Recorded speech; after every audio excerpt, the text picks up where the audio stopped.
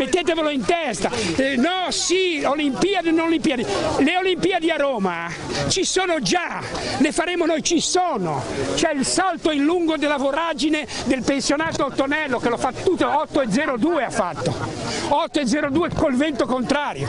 C'è il pattinaggio artistico sul guano, c'è l'attraversamento del sottopassaggio allagato in 14 secondi stile farfalla della signora Lina, ci sono già le Olimpiadi. Ma ha deciso lei o la radio sulle Olimpiadi?